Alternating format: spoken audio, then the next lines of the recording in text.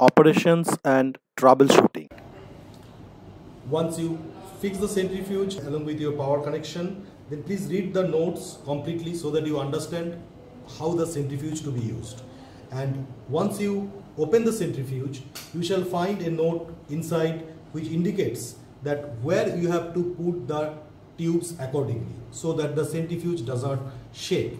Now if you are running two blood collection tubes into certain RPM for certain time, please put the tubes into exactly opposite diagonal direction.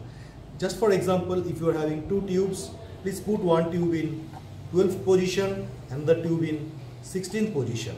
Now, if you are having more tubes, like say for four tubes, you can put that again in 6th position and 3rd position so that all the tubes are exactly in the diagonal direction. Say if you are having three test tubes, then you can put the test tubes into position 4th, 8th and 12th in the same condition like 12th, 4th and 8th so that the centrifuge is balanced and it does not shake. Now let us come to the error codes of the centrifuge. Once you are running the centrifuge, you may get some error codes also. You should be aware about this, why this is happening. If you are not operating the instrument properly, then there, there is a chance of giving four error codes in the instrument. Like say for example, Electra BL centrifuge gives error codes like E1, E2, E3 and E7.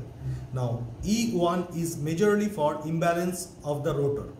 If the rotor is imbalanced, then E1 error will come. All the error codes comes in the timing sector. And another very common error code is E3. Now E3 comes when you are switching on the centrifuge and the centrifuge is in run. During that time, if you are opening the top cover of the centrifuge, there is a possibility of E3 coming. Say for example, now the RPM is set into 3000 and 5 minutes timing is set. Now say I want to switch on the machine and the instrument started rotating. But suddenly I felt something to be done and we just opened the top lid. You can see the mesh instrument will give a buzzer and E3 mark will come. Now once E3 comes, please do not get worried. Please Close the lid and press on the stop button. Once you press on the stop button, automatically the RPM will go up to 0. And once it goes to 0, the instrument will give a beep sound that the timing and RPM got reset. Then you can switch on the start once again and start the centrifuge.